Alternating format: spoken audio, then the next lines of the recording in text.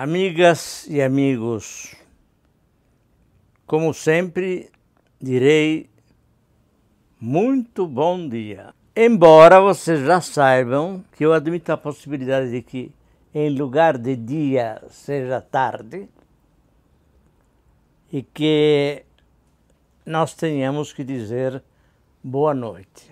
De todo modo, uma recomendação inicial sempre é, é necessária. Inscrevam-se para fazer as suas perguntas aqui, aqui.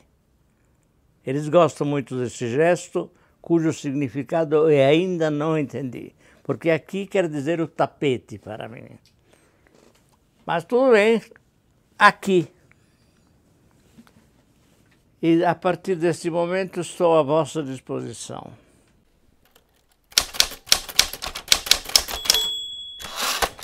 Mino, vamos começar com a pergunta do Marcos Nazário. Mino, a favor de sua existência, uma pergunta. Você é um entrevistado de boas respostas. Como entrevistador, você encontrou gente de igual brilhantismo? Não, esse é um leitor muito generoso, evidentemente. Claro. Na semana passada contava a história do Jânio Quadros, né? Que a certa altura, no meio de umas, de umas respostas dele, ele começou devagar, falou de coisas da história, coisas de 1600, imagine você.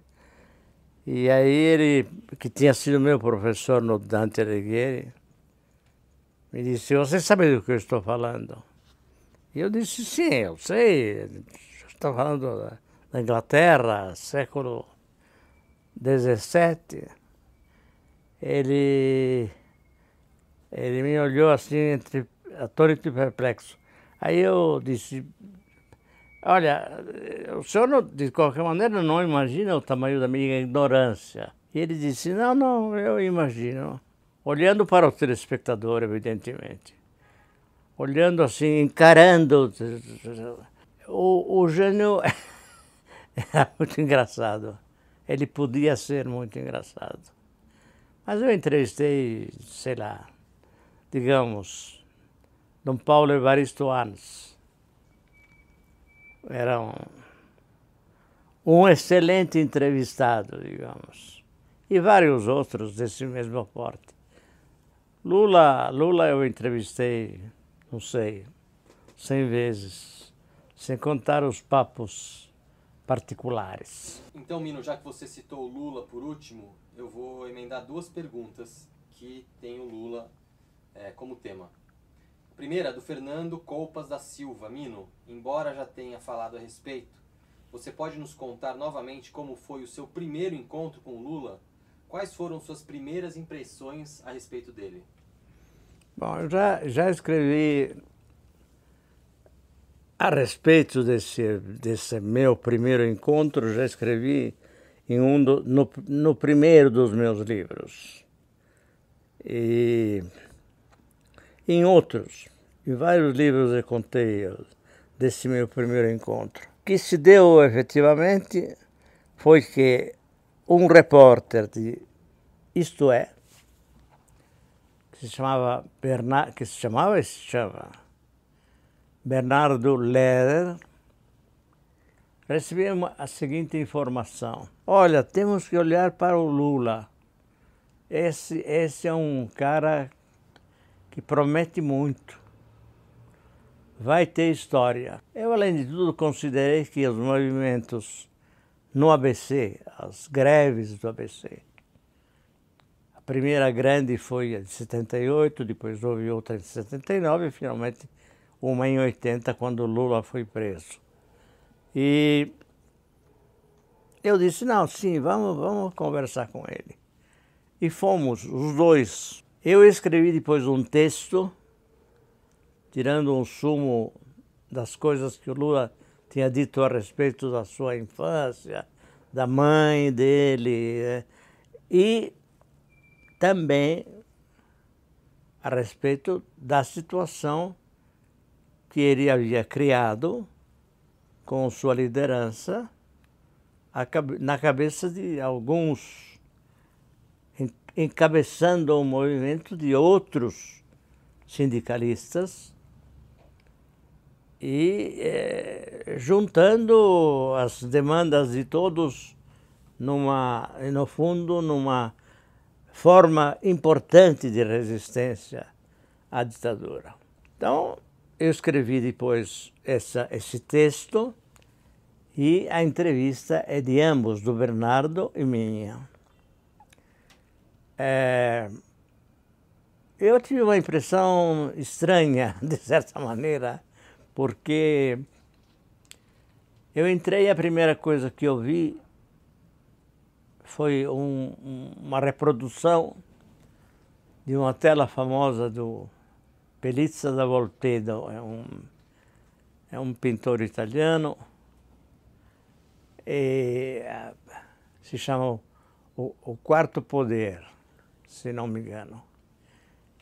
E nela tem um, uma figura central enchapelada, estranhamente semelhante ao Lula. Barba, bigodes. E ele está comandando uma marcha de trabalhadores, a qual se agrega, inclusive, uma mulher que carrega o filho nos braços. Então, então eu achei que o, o cara que tinha descido do quadro, tinha saído do quadro e veio ao meu encontro com a mesma uh, feição severa e ao mesmo tempo determinada do, do, da personagem, pintada por Pelizza da Volpedo. Essa foi, a minha primeira impressão foi excelente, porque eu percebi logo, e é muito fácil, devo dizer, estava diante de um, de um cidadão é, muito inteligente, muito inteligente em primeiro lugar, com um quociente muito alto de inteligência.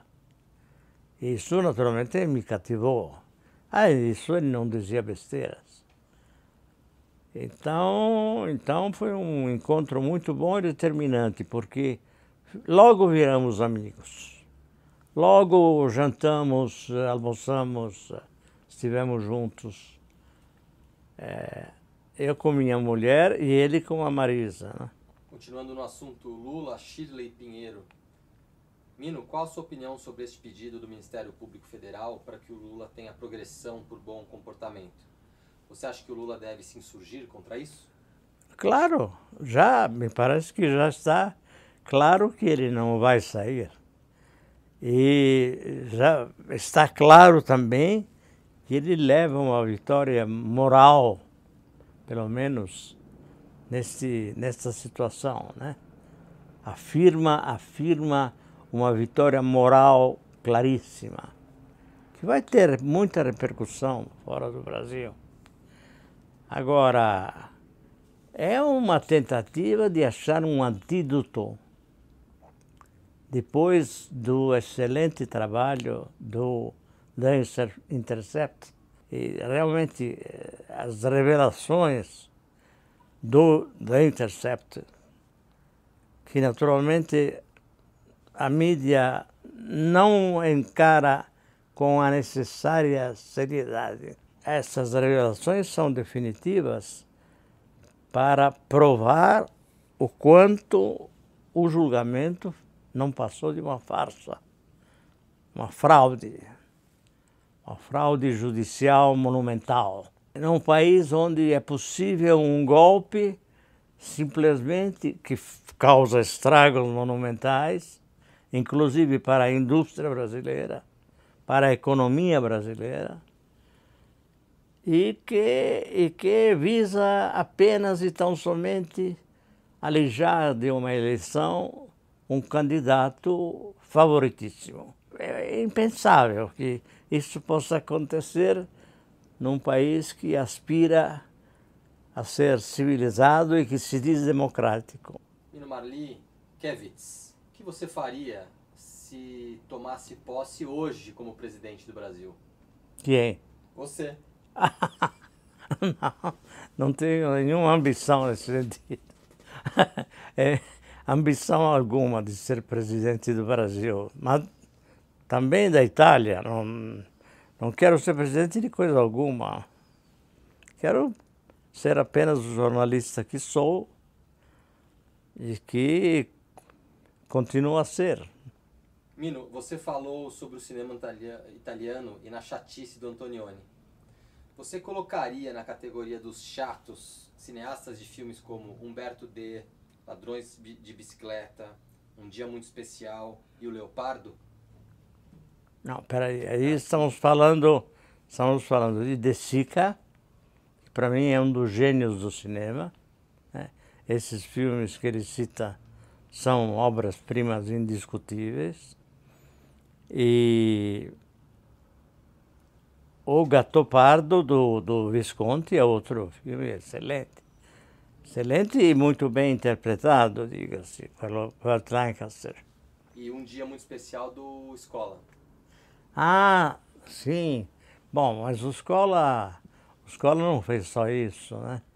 Um dia muito especial. É bom, bom, belíssimo filme, é, do qual eu lembro sempre e tenho, aliás, o filme. Mas, uh, imagine, noi che ci eravamo tanti amati, per esempio, che è, o, è un film che gli deu grande notoriedade di saída, è un film di 75, se non mi inganno.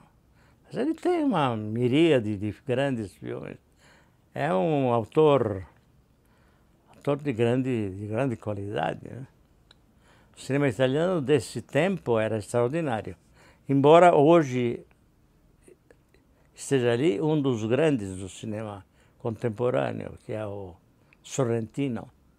Diego Souza pergunta: Mino, gostaria de saber sua opinião sobre o papel dos cientistas e dos intelectuais brasileiros na atual conjuntura política.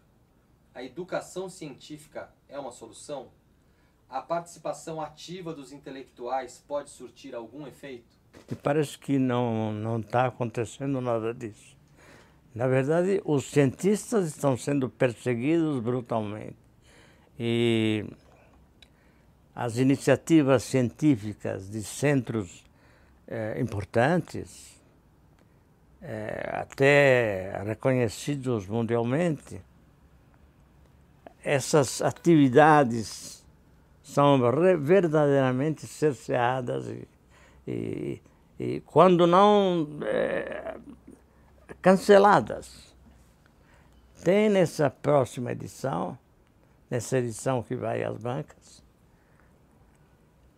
é uma matéria sobre esse assunto. É uma das nossas matérias dessa semana, sobre como existe uma perseguição às iniciativas científicas de institutos que estão aí há tempo e que fazem bem o seu trabalho.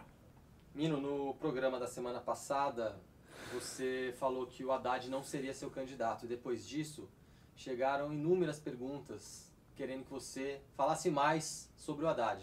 Não, eu acho que o Haddad é um professor da USP que encarnou com raro brilho todos todas as visões frequentemente equivocadas da mesma USP. Né? Então, ele não é um, um bom político, isso para mim é muito claro. Tem muita dificuldade em fazer política. Às vezes até parece que ele não tem interesse. Não acho ele um bom candidato à presidência da República e não acho que o Lula esteja certo ao insistir na, nas, na candidatura dele. Embora eu saiba que o que realmente defende o Lula dentro do PT é Gleisi Hoffmann. Gleisi Hoffmann realmente é decisiva para manter Lula no topo da barricada. Não é o Haddad, realmente. Lula atrapalha o Haddad, na minha opinião, na visão que o Haddad tem do Lula. Quer dizer, não é uma visão positiva. Na minha opinião, mas também falo baseado em algumas indiscrições que chegam aos meus ouvidos. Mino, nossa última pergunta de hoje, a Sônia Calil. Já acabou? Ah, que pena. Estava me divertindo tanto. Ainda não acabou, tem a última. Sim. Pois é. E a última, Hum. ela é diferente. É. A Sônia Calil fala assim: Mino querido, eu adoro suas entrevistas, vi todas até hoje. Hum. Ninguém perguntou sobre a sua vida afetiva. Você é casado? Conte um pouco, se puder ou quiser, sobre o tema dos seus amores. Um cavalheiro não, não comenta essas coisas. Os amores fazem supor momentos de encantamento e ternura e esses têm que permanecer fechados. Eu, eu amei muito uma mulher, que foi a minha mulher, e que morreu muito jovem, aos 51 anos, câncer naturalmente, e que eu amei muito. É, essa é uma mulher que realmente eu amei. Não, eu, eu me despeço, no fundo, entristecido, porque essas perguntas não são suficientes, deveriam continuar noite adentro, alegariam as minhas horas de uma forma, de uma forma excelente. É, a propósito, essa, essa moça que eu amei de verdade chamava-se Angélica.